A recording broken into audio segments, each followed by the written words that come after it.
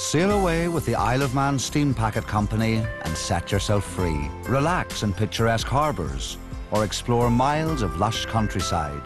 The magic and charm of this island is sure to captivate and beguile you.